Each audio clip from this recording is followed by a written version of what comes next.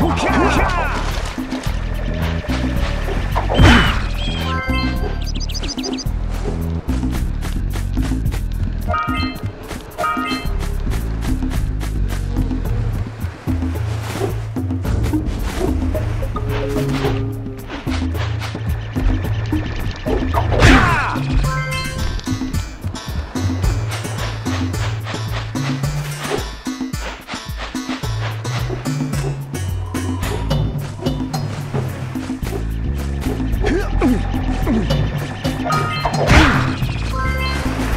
Wow!